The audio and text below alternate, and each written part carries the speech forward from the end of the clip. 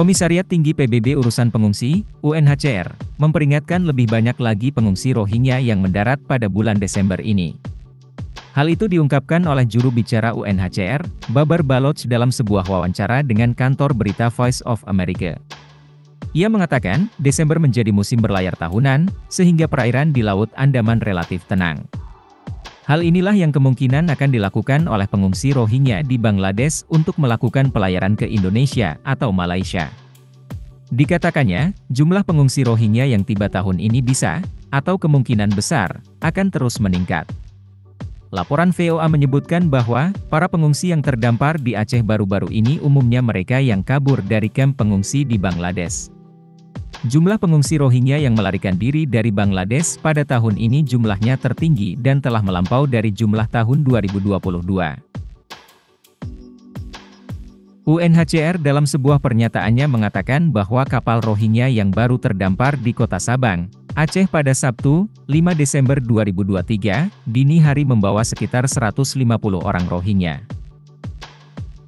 Dalam pernyataannya, UNHCR mengatakan pihaknya juga menerima beberapa laporan mengenai dua kapal lagi yang masih dalam pelayaran, dengan total penumpang sekitar 400 orang.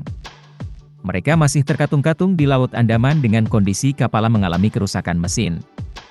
Hampir satu juta etnis Rohingya, minoritas muslim dari Myanmar, kini tinggal di kamp-kamp pengungsi yang luas di Bangladesh Timur. Sebagian besar dari mereka lari dari Myanmar pada tahun 2017 karena terjadi, apa yang disebut PBB sebagai, genosida oleh militer Myanmar. Sebagian besar dari mereka yang melarikan diri dari kamp dengan perahu mencoba menyeberangi Andaman menuju Malaysia atau Indonesia, keduanya merupakan negara mayoritas muslim. Beberapa ratus orang tewas saat mencoba berlayar dengan kapal yang penuh sesak dan tidak layak. Sementara itu, di kamp-kamp yang tertutup di wilayah timur Bangladesh, para pengungsi mengeluhkan meningkatnya kekerasan geng, kurangnya lapangan pekerjaan dan sekolah, serta terbatasnya jatah makanan. Program Pangan Dunia PBB, sumber utama bantuan pangan bagi para pengungsi, memotong nilai uang bulanan di kamp-kamp pada Juni 2023, untuk kedua kalinya tahun ini, menjadi rata-rata 8 dolar Amerika per orang. Badan itu telah menyalahkan kurangnya dukungan para donatur.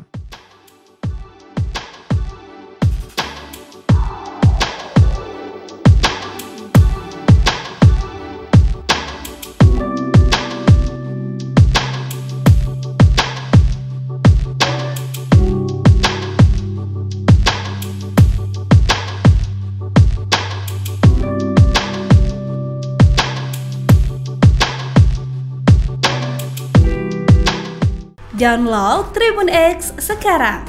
Menghadirkan lokal menjadi Indonesia.